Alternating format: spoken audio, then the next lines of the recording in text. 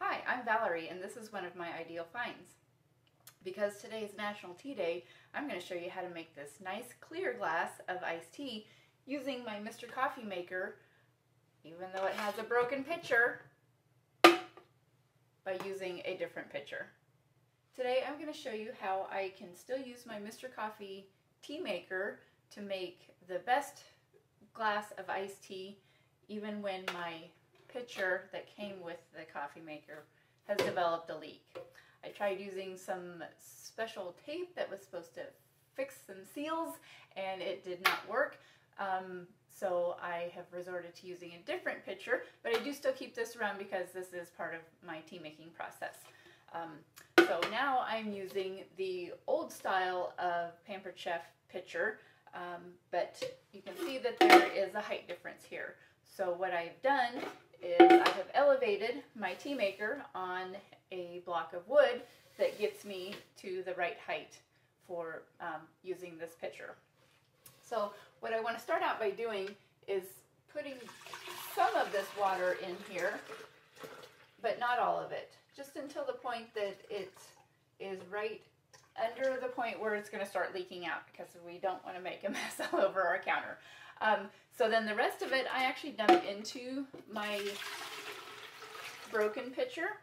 Um, the leak is actually more up in the top part of it, so I can still put some water in this.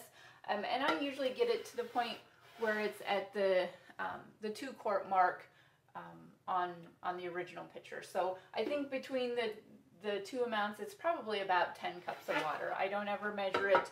Um, I just kind of, I fill this one till it's as full as I can get it, and then I, I put that one at the two quart mark on the original pitcher.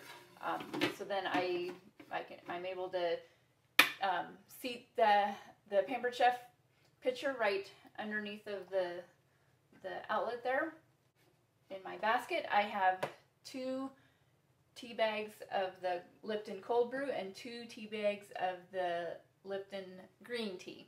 Um, I just layer those black, green, black, green, and I put it in there and push the button and let it do its first round of magic.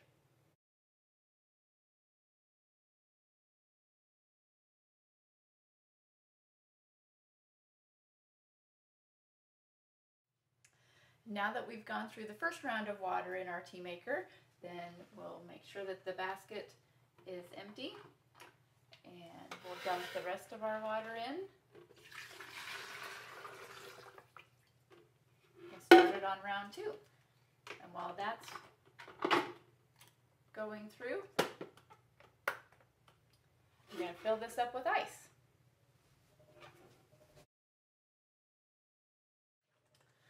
As the second round is going through, then I want to add my Pampered Chef lid to this and put the ice on top of that.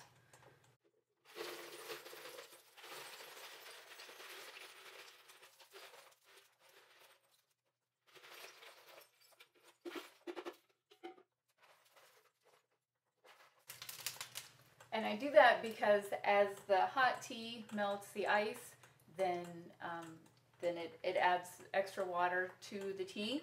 Um, but I put the, the ice on top of the mixing pitcher lid because um, if the ice is underneath of it, then my handle doesn't go down all the way and then it won't fit in my fridge.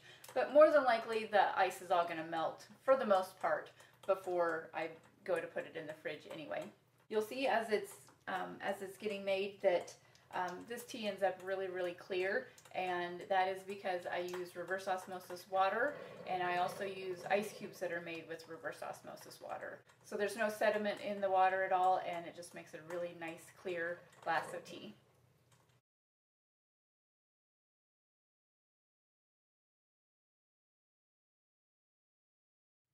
Now that all of the tea has drained from the basket, then we will Put the lid on. You can see that most of the ice has melted. And we will pour a perfect glass of tea. Look at how nice and clear that is. Ah. I dump it in the pitcher like normal. Oh.